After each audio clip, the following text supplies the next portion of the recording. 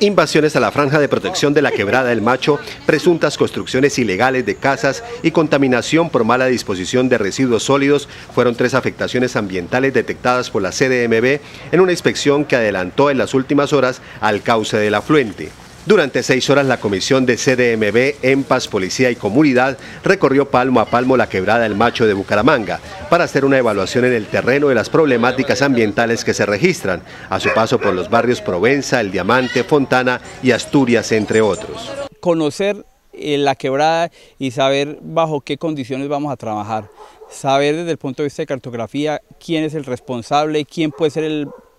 supuesto propietario de estos sectores con el fin de comenzar un trabajo eh, orientado hacia un programa de un plan integral de manejo de la quebrada del Macho.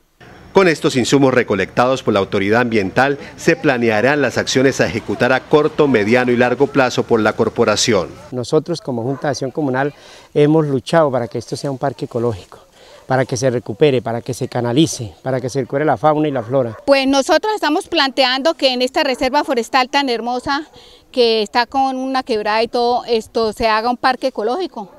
donde la gente pueda venir a caminar, senderos, donde la gente pueda disfrutar de la naturaleza. En el mes de noviembre se llevará a cabo la gran jornada de limpieza y concientización de la Quebrada del Macho, liderada por la CDMB. CDMB